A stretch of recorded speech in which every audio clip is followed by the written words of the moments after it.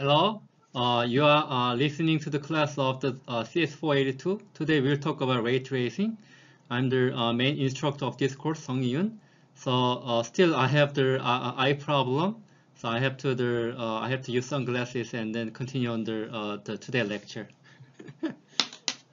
yeah, please understand that somehow I cannot I cannot I cannot see the screen that much due to my eye problem hopefully it gets better as, uh, as we have more classes.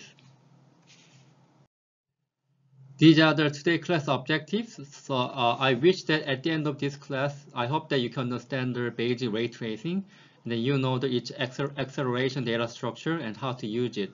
So the today materials will be covered. Uh, uh, today materials already covered in the uh, uh, chapter 10 of my book. Uh, my, basically, the if you uh, you can see the this the, the rendering book the, the link here. Uh, let's see that. If you click the this one I think that there, uh, you can see the you can you can get the PDF of the this the rendering book. So in the uh, in the uh, lecture in the video I will briefly talk about the main idea. But if you're interested on the topic and if you know the more details about the lecture material I I, I recommend you to go over the the this the text of the book so before moving on to the ray tracing, I'd like to talk about the classic rendering pipeline. If you took the undergraduate computer graphics, you already know the, this the rendering pipeline, also known as the, this uh, rasterization. So there are in the rasterization rendering pipeline, there are many different steps here, right? Starting uh, basically starting, uh, it starts from the modeling transformation. So uh, every single model defined in the, its own modeling space, and then we somehow translate, transform, rotate it, and position uh, position each individual model in the uh, at some at some at some position in the 3D scene. So that's the uh, modeling transformation. Also, we can reject some of the trivial objects, maybe that are located uh, outside of the frustum. Uh, uh, or, or, or, there could be the many acceleration techniques.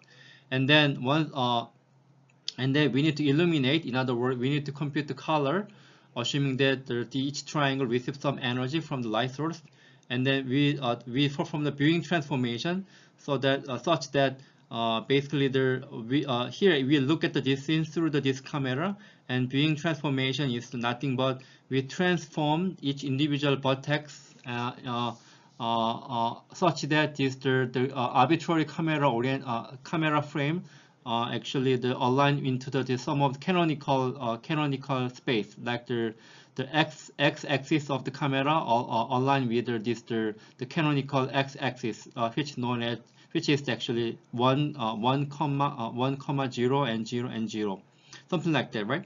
So and then basically there you can see that uh, then we do the uh, we do the actually clipping. At that point, we know that what are the uh, we, uh, some of the triangle maybe the outside of the uh, outside of the this the uh, viewing space, and then we need to clip some of the triangle and we project here in this case we actually this is actually camera origin. And then uh, here we are looking through the this 3D scene through the this camera space camera here and the projection nothing but we we actually project all the 3D 3D uh, 3D position into the uh, 2D location 2D position in the this camera space.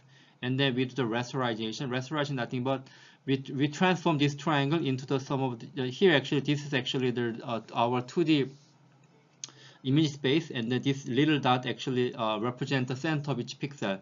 And then uh, basically uh, let's just see, let's change the register I'd like to see the, the pen so somehow we projected this triangle into the this camera uh, into the image space and then uh, uh, then the rasterization nothing but if the this center of the pixel is located we, inside of this triangle we compute some color.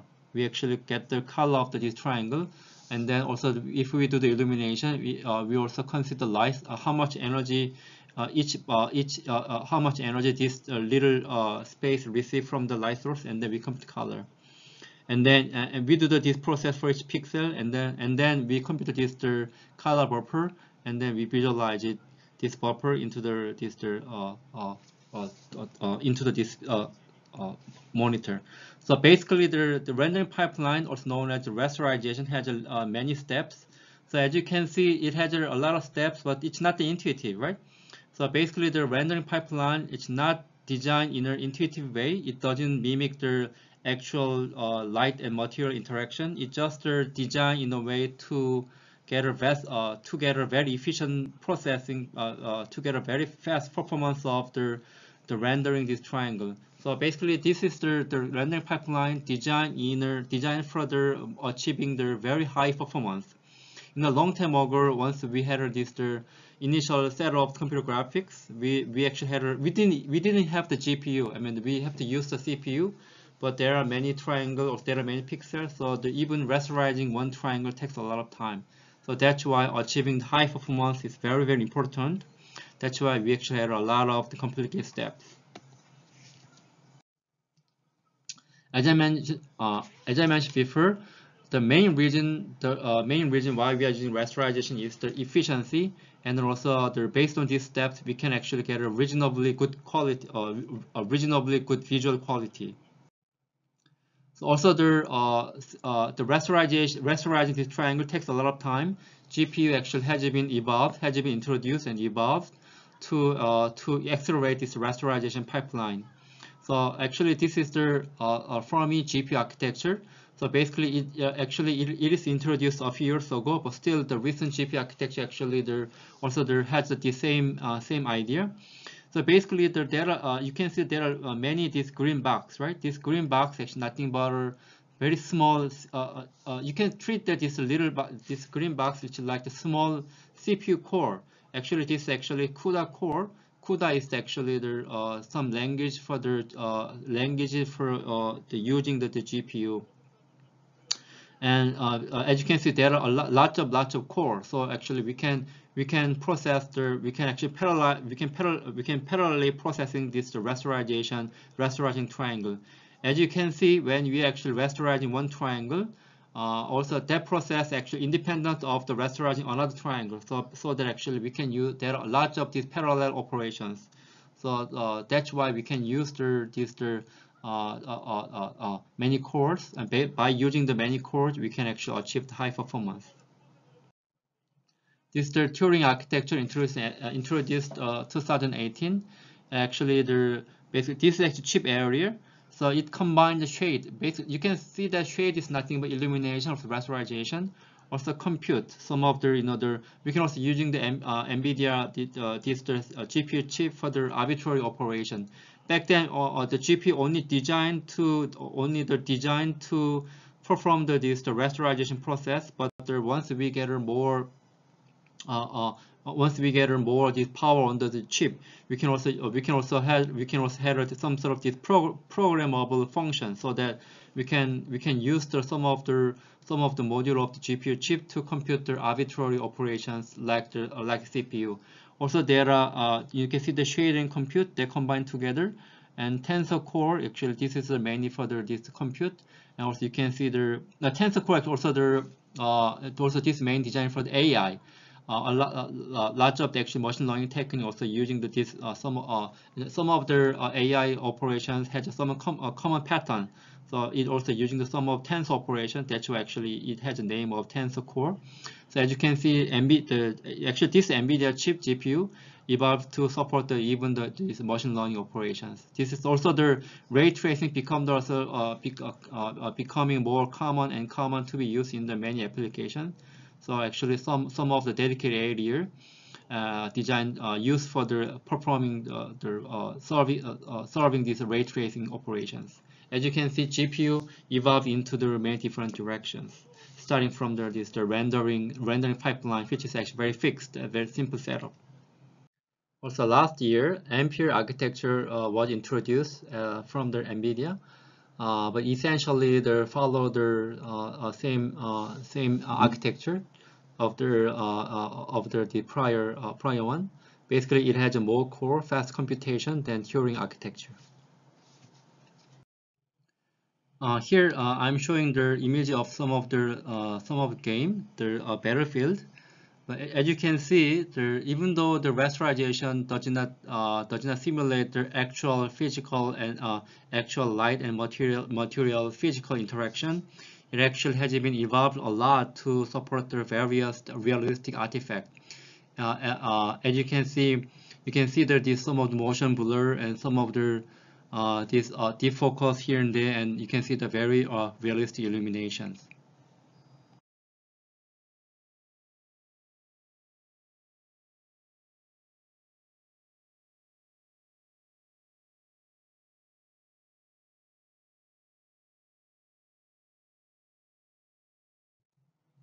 But still, there are lots of the other effects that cannot be suffered well by the uh, rasterization.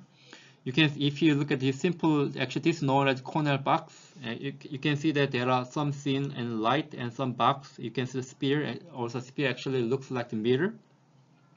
There are very soft shadow. Uh, you can see that there are area lights, so they actually, uh, uh, basically we have the very soft, sh uh, soft shadow here. You can even see that this kind of the, the color bleeding here. Basically, the this this is actually green wall and uh, we uh, somehow the, this floor and also the uh, uh, uh, kind of the, this reflecting some of the light light energy. That's why also you can see that some of the this green green green wall here on the floor. Some people say that it's actually color bleeding, but basically this is kind of the rendering effect that cannot be supported very well by the rasterization. Rasterization actually they're very good for just uh, given this triangle, rasterization is nothing but project this triangle into the uh, uh, image space and rasterize it. That's it. So basically, if you consider some of the uh, triangle in a direct way, we can actually handle that uh, that we can actually rasterize that triangle very well. But if you had a lot of complicated scene, basically the this when you are rasterizing this one, this the this triangle does not have the green color. The the main reason why we actually see the green color here is that the light actually interact, uh, the light actually photon emitting from light source hitting there, and then the photon reflect from the wall, and it has a green, uh, green color at that time. And then the, the, the photon hitting the, the floor, then we can see the green color. So it has actually lots of lots of the global operations, and then the rasterization pipeline is not designed to support that kind of the complicated the uh, interaction. In, uh, basically, that's indirect reflection that I will talk about later on. So that's why it's the limiting fact, limiting issue of the rasterization. That's the one of reason why we need to why we need to use the uh, ray tracing. So uh, initially the ray tracing starting from the ray casting and then ray tracing nothing but uh, we just using the ray casting in a recursive way. That's why I use the recursive ray casting here. Uh, each, each idea actually gained popularity around 1980, long time ago, by the Turner Whitted uh, basically by using the rate initial initial setting of the ray casting, uh, the recursive ray uh, ray casting or ray tracing, we can support this kind of shadow, soft shadow. We can also support this kind of uh, transparent uh, transparent rendering. Some of text actually reflects here, and then we can see through the uh, we can see that this texture through the, this kind of transparent sphere. Let me briefly talk about some of the main idea of the ray casting and ray tracing. Uh, they're basically their uh, rate. Uh, I think that it's better. Uh, uh, it's better to talk about this one with the uh, with some illustration that I will talk about later on. The Bayes algorithm is that we actually uh, this actually the camera this this actually image space that we this actually image that we want to compute, and this is the little box is actually pixel, and then we generate ray, we can generate a ray that passing through the center of each pixel. And then basically this, we, in, in other words, basically it's nothing but ray casting. We cast a ray, and then if the ray hitting the in some of the object, then we, we get the color of that object that intersect with the ray, uh, put the color into here. That's it. That's the basic algorithm of ray casting. And basically the, the rasterization is nothing but uh, uh, if we do the ray casting, we can get uh, we can get uh, we can get the image that are computed computed by the rasterization.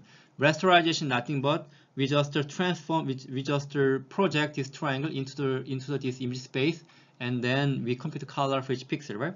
So if we do the ray casting, that's the essentially same thing with the ray uh, rasterization. Main difference is that ray casting, uh, the rasterization is that we project the triangle from the 3D space into 2D, but uh, in the in the in the case of the ray tracing, ray casting is that we generate ray from the the, the camera origin to the uh, to the center of the pixel and, we and then we, we get the intersection point between ray and object. So basically ray is nothing but you can treat the ray as your, the trajectory of the photon. Photon emitting from the, in this case actually the, uh, usually photon uh, emitted from the light source, but the, uh, basically we actually the, that's why we do the backward ray tracing ray casting. We emit the ray from the camera passing through the center of the uh, center of each pixel. That's the basic ray casting.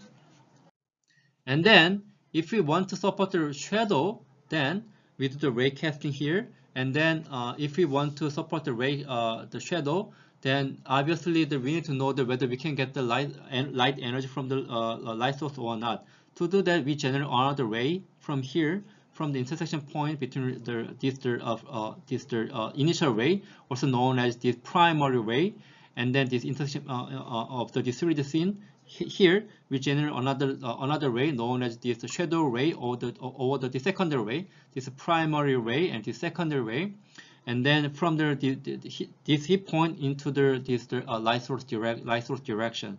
So here, this this actually shadow ray or the secondary ray. At that case, at that point, if we generate ray and then the secondary ray may be the blocked by the this object, right? So we don't get energy from light source. So we got the very uh, dark energy here, dark color. But at that point, uh, along the uh, uh, on this scene, we got the uh, light, uh, we got the ray here, and then we generate another secondary ray from that point, the light source. We can get light energy, right? So that we got the, we actually adding the uh, some color from the light source. So it looks bright and looks dark. So supporting the shadow is very simple by generating just another ray. And basically this ray tracing, since we recursively perform you generating ray and then performing the ray intersection test between the ray and the 3D scene reflection and uh, if we uh, support if we want to support this kind uh, this this object like the metal or the mirror and it actually reflect the, uh, it, uh, uh, it reflect the surrounding scene. To do that to support this kind of reflection effect we simply generate another ray another secondary ray another secondary reflection ray primary ray and then this reflection some of the mirror then we generated uh, we generate another this the reflection ray. So at that case, actually, the uh, depending on the geometry, uh, support this actual mirror. Then if if the mirror actually they're supporting this uh, perfect, uh, uh, if the mirror is actually perfect perfect specular, we we uh, uh, we uh, we actually we can compute this kind of the uh, reflection rate direction uh, based on the Snell's law. I'm not going to talk about the details about Snell's law, but if you're interested, you can look at my book and look at the, this uh, check find the Snell's law. Based on that, we can compute this reflection rate. And then then this ref, reflection rate here it is the floor. Then we get the color from the, floor. Uh, this the floor is nothing but in this case checkbox. Uh, and then put the color here, and then uh, uh we translate. Uh, we actually transfer the color from here, from here to there, or here to this pixel. So we can get this kind of uh, image here. Okay, let's talk about refraction. So in this case, actually, this object is the transparent. So we can see through the, this the other objects from the this this transparent object you can see that actually this uh, this cylinder uh, is kind of glass. So in this case, if the object transparent, it is the primary ray intersects with the transparent object, we generate another secondary uh, refractive ray that passing through the, this transparent object. And then in this case, uh, this secondary ray hit there, and then also it also reflected to the this uh, this uh, floor.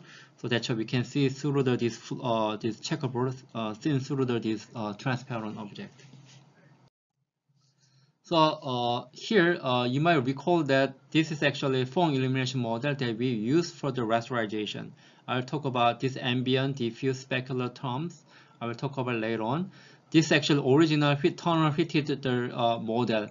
Uh, it also has ambient diffuse term, but there, uh, here uh, this this actually the some color light energy from the shadow basically this this S from uh, this S from the S from the actually reflection, not shadow reflection. if the model is also the transparent, this is color from the, this transparent ray and then this KS, KT is actually specular and trans, uh, transmission, you can see the transmission is transparent object. Uh, KS, KT are trans, specular uh, and transmission coefficient depend, that, are that are decided depending on the different object. And then uh, uh, if the object is the, uh, not is basically the, the common object, then we can only consider ambient diffuse. And this also the, they're specular, that we generate another secondary ray, and we consider that uh, another uh, light energy from the that uh, specular object. So initial alternative model has very similar to a Phong illumination model. It also has these the additional term that are depending on the this depending on the secondary ray. Uh, here, uh, this is actually the uh, OpenGL Phong illumination, illumination model.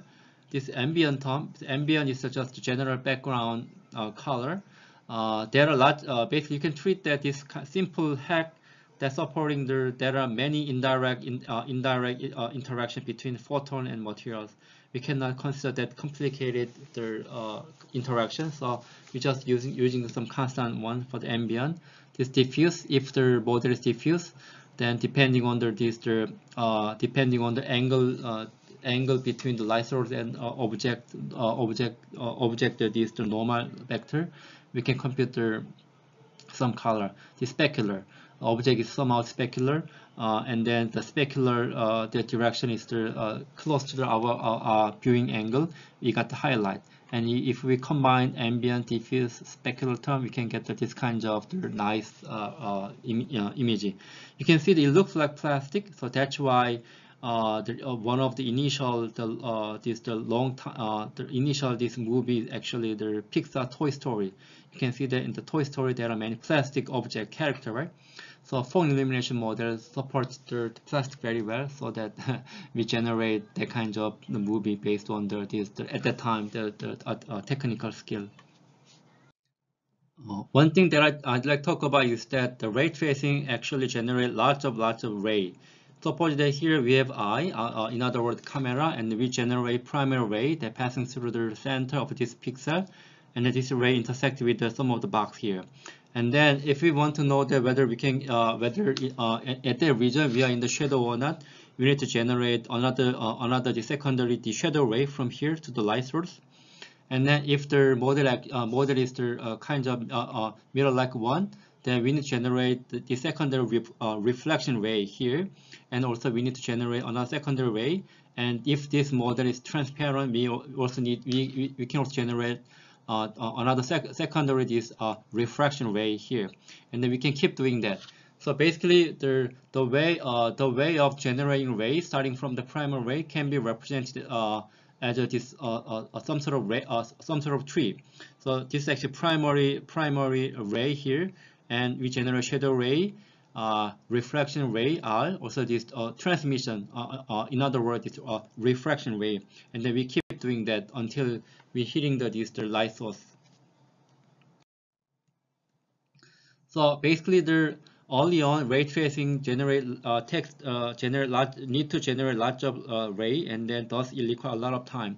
So rendering time for a ray tracer depends on the number of ray intersection tests per each pixel, and then uh, then uh, basically the uh, to generate this kind of image, we need to generate the number of the pixels also, there, we need to multiply the, uh, this one with the number of primitive in the scene. Basically, there, we need uh, to perform the uh, intersection test. We need to check the intersection between each ray and and another uh, uh, every single of the this triangle that that uh, that consists of this scene. So if we have more triangle, more pixel, it require lots of lots of lots of lots of ray, and in in each pixel also we need to generate this the shadow ray, also this many the secondary rays. And then, uh, so basically all the, all efforts for the improving ray tracing has been uh, focused on the accelerating rate, uh, ray object intersection test. And there are lots of technique for the uh, accelerated, accelerated technique for the ray triangle intersection test. We are not going to talk about low-level detail here. If you if you want to know uh, if you want to know the some of uh, low-level detail, you can actually refer to the my book. Uh, but some uh, here I'd like to talk about some of the advanced technique uh, to accelerate the ray tracing. So here, uh, one of the very well-known techniques actually the uh, bounding volume hierarchies or the spatial subdivision technique like the kd-tree. I'll mainly talk about the, the bounding volume hierarchies. So the uh, suppose that here we have the eye and we need to generate some of ray and then we need to check the intersection test between this ray and uh, every single uh, triangle that consists that consists of this teapot model. And then one of the very simple acceleration technique is that using this bounding volume. Bounding volume simply enclose this complex object with a very simple to uh, simple simple object. In other words, the simple to intersect object. In this case, we used the sphere, and then uh, uh, you can see that uh, intuitively actually you can see that it may be more easier it may be more simple to it may be simple to check the intersection test between this ray in other words line also this this sphere and if we, if we, if there's no uh, if there's no intersection between this ray and also this enclosing bounding volume, then we don't need to check the we don't need to check the this the uh, the in, uh, intersection test between this ray and every single triangle that are contained in this sphere. So that's why we can actually accelerate this performance. Of course, if we actually have intersection test between uh, intersection between the ray and this uh, bounding volume, then we need to localize the, the actual location of the having the intersection test. So we need to check the this uh, every single ray and triangle intersection test. But uh, uh, anyway, so one of the uh, there are some of the very well-known bounding volumes like the sphere, also this axis aligned the bounding box. So basically, this is just box aligned, uh, and each axis aligned with x, y, z, the common this uh, common the canonical axis. But you can see that the sphere is very simple, but not that tight. In other words, suppose that even uh, I mean, the, if the ray actually intersects in at that direction, even though there's no intersection test between the object and the ray, but the, the sphere is very loose, so that uh, there's uh, some intersection between uh, uh, uh, there's some inter intersection against the sphere. Then we need to do the this the low-level ray and triangle intersection test. also, sometimes axis aligned bounding box actually perform better but it depends on the scene. Sometimes sphere is better and axis aligned bounding box is better. Uh, here I only talk about sphere and axis aligned bounding box given this uh, some of the objects. This is a computed sphere and this computed uh, bounding box. Well, there are more advanced techniques like oriented bounding box. So here the uh, each axis actually computed uh, computed along the this uh, compute along the geometry containing the bounding box. Also, there are more advanced ones. KDOPS actually it it compute every single plane that including the including the object, but uh, it, it may be the more complex object like uh, other than this box. So it actually it, it obviously using this slab and oriented bounding box much more uh, expensive than using the uh, using the this the simple object simple bounding volume like a sphere. But uh, uh, by using these complex bounding volumes, we hope that it, it is actually more tighter uh, uh, this computer, uh, computer bounding volume actually tightly fitting the underlying geometry. Another another simple acceleration of the just using bounding volume is the bounding volume hierarchy. Computer scientists uh, actually uh, I, uh, like the idea of the using the hierarchy right tree. So it essentially organizes bounding volume as a tree. So here I will just give some illustration here. It's given uh, we actually compute the bounding uh, bounding volume for each model for each for each object. Here actually we use the box, and then some somehow we, we, actually partition this this kind of low, and then this this every the each bounding volume for each object actually uh, serve as a uh, serve as a, the leaf uh, leaf bounding volume of the tree, and then then we actually merge some of the uh, uh, nearby bounding volume and compute this more bigger bounding volume. So in this in these two objects, we build a more bigger one. For this, we build a more, more bigger one, and then uh, then uh, this actually uh, uh, this bounding volume located here, this bounding located here, and also we we actually merge every bounding volume and compute this bounding this the biggest bounding volume and solve at the root of this bounding volume hierarchy. This is a bounding volume hierarchy. In other words, uh, basically we enclose the, this the underlying geometry in a, a, recursive way. And then how, how can we use this bounding volume hierarchy? So given the ray, we first check the intersection, we first check inter intersection between this ray and root bounding volume here. And if there's no intersection, then we, we don't need to traverse this tree, right? There's no intersection test. Uh, we, we know that there's no, no intersection between the ray and underlying geometry. But if there's an uh, intersection here, uh, as we shown here, then we need to refine this uh, top node into the uh, into the child uh, child node here. In this case, these are the bounding volume. Then we we check the intersection test between the ray and every this child node, and then we don't have we don't in this case we don't have the no intersection between the ray and this box. Then we skip the traversing this this one, and then uh, in this case, we actually have an intersection here. Then uh, we also the refine this node into the children node, or, or, or the, if there's no children uh, children bounding volume, we need to uh, we need to actually check the intersection test between ray and every single triangle contained in this uh, leaf node. So basically, there we traverse to to use this bounding volume hierarchy for intersection test. We traverse a tree and then depending on the whether we have collision or not, uh, intersection or not, we traverse the, the tree uh, uh, deeper down or not. By using the bounding volume hierarchy, we can actually accelerate the uh, the runtime performance of ray tracing over the just using uh, just uh, using naively checking every single test between ray and then every uh, every single triangle.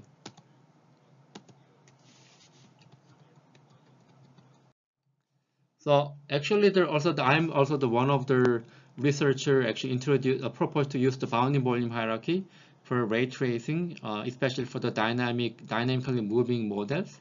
I actually uh, we uh, I worked together with my uh, uh, with my junior students at the 2006, and then somehow the um, 10 years later, this paper actually was this paper actually was recognized as one of the uh, uh, one of inflation technique using the the acceleration uh, acceleration structure like bounding volume hierarchy for accelerating ray tracing. So 2015 I got this the test test of time award. It means that even though 10 years passed away, this technique actually was uh, used a lot in the field. And another uh, technique is actually the another acceleration structure is known as the spatial subdivision. I'm not going to talk about details. In other words, you don't also there, you don't need to spend uh, much time to understand this one. But before in the bounding volume hierarchy, we we actually partition the object triangle to build a hierarchy. But in other words, we can actually partition the, the space to build a hierarchy. So regular grid, octree, BS, BSP tree, KD tree uh, are the some of the examples. But I'm not going to talk about the details about here, since in the bounding volume hierarchy, already, uh, it's just understanding bounding volume hierarchy is uh, enough for you. So in summary, classic ray tracing is kind of gathering approach. We generate ray and then we generate a lot of secondary ray and then uh, uh, then we actually gather energy from the light source and ref uh, reflected ray and also also the uh, refracted uh, directions. Its concept is very simple. Also, it provides uh, improved the realism over the classical rendering pipeline, the rasterization scheme but still it's a very simple light model. As you can see this computer uh, this uh, general image look uh, looks very naive right? It's a simple light model material also this uh, light propagation. In, in the end it's not a complete solution. And then will, we will talk about more better solution later on. Also back then uh, we don't have any accelerated any special hardware uh, special specially designed hardware for the ray tracing. So we have to use CPU but the CPU was very slow to uh, to process this uh, lots of lots of ray. So early on, ray, tracing was proposed uh, proposed early on, but it was not used uh, actively. So there, basically, there uh, uh, we start with the some problem with the classic ray tracing. It's not really not realistic. Also, if you it's also view dependent. In other words, when you change the view, we have to generate the ray again for the this view. and uh, later on, this uh, radiosity concept actually was proposed. It's actually the it will support the uh, global illumination, but it assumed on it assumed this diffuse scene. But it can actually provide a very nice image on assuming the diffuse scene. And then 1986, uh, uh, we actually had the Monte Carlo ray tracing. It's a global illumination for any environment. Actually, this Monte Carlo ray tracing was known as the path tracing. And this technique actually the proposed long time ago uh, studied a lot and then sometimes actually it also dismissed but uh, basically this is kind of method of choice used uh, that are that are that are under using in many applications like for the uh, generating realistic movie uh, even in recent days so basically the the technique is nice. Also, the the recent GPU actually accelerated this the performance of this the this ray technique, Monte Carlo ray technique. The understanding Monte Carlo ray tracing is one of the main uh, main topic of the discourse. And also the ray tracing has been studied a lot. And so there are actually many ray tracing engines. Uh, uh, also, I would say uh, ray tracing kernels. NVIDIA also provided this X that utilize the GPU, computing architecture, and CUDA. Also, uh, Intel also introduced Em Embree. It's just using the common CPU, multi-threaded, and SIMD. So obviously, the the uh, MB, the OptiX X actually shows the better performance than the uh, one. But if you don't have the the, uh, the some of the recent GPU that that can run the OptiX X, you can try it out Embree. And then I recommend you to try it out uh, these uh, these ray tracing engines so that you can see the uh, what kind of rendering effect it can support and what, what kind of performance it can have. And then, so you might heard about OpenGL, also the DirectX. Those, li uh, libraries kind of standard of the uh, performing rasterization. And then uh, this NVIDIA and Intel actually they're working together to make the, their rendering their ray tracing engine as some of the uh, some of the these the common uh, common standard engine like the OpenGL. That might come later on. Uh, also to help you to understand the better this the ray tracing engine, uh, I'd like to give you the, uh, our first program assignment, PA1. So basically, the, it's, the, uh, it's kind of easy homework. You need to get to know the Optics, OptiX X or the Embree. Just download and compile either one of the, those two methods. I, I think that there, there already compiled version in, uh, uh, at the website. Also, the try out a few scenes and upload some of the image of those scenes in the KLMS. Uh, the specific deadline will be available at the KLMS. So just just try it out the, uh, those rendering engines and then just just play with them and then uh, upload some of the image. It's easy one, but sometimes it may take some. Uh, it may it may require some of the linking or compilation. There might be some on, on, on there might be some unexpected issues. So I recommend you start early. Uh, this is just, just general homework. Go over the next lecture slide before the class and watch two paper or video. You don't need to go over the, the details of the paper. Just watch the video and see the what are the the, the tech what are the actually topics and techniques of the uh, recent techniques and submit your summary uh, uh, uh before, right before the every Monday class. Just one paragraph for each summary is okay. You can use the English or the Korean. So I wish that by now you can understand the basic ray tracing uh, basically the if you need some effect just, just general ray and then note each expression data structure like bounding volume hierarchy and how to use the uh, hierarchy also the recent uh, rendering engine. And next time I will talk about radiosity, which is another uh, important uh, rendering uh, rendering scheme for the global illumination. Okay, that's it. See you later. Bye.